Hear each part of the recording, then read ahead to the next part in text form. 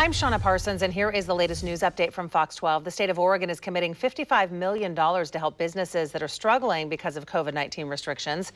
Counties will be in charge of distributing the money. The priority will go to the hospitality industry, businesses hurting from the freeze, and workplaces owned by women and minorities.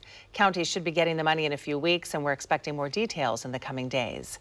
The Oregon Food Bank expects to see an increase in people who need help as the state begins its two week freeze. That's what happened back in March when the state shut down. According to the Oregon Food Bank, more than a million people have needed help from one of its locations this year.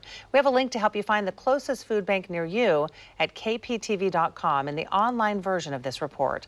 Now here's Fox 12's Andy Carson with a look at the forecast. Very rainy morning out there this morning. We'll see the uh, showers die down a little bit, but there's a chance of thunderstorms in the afternoon. High 52. A few more showers for Thursday, 50 for the high. Then it should be a mostly dry Friday, Saturday, and at least first part of Sunday.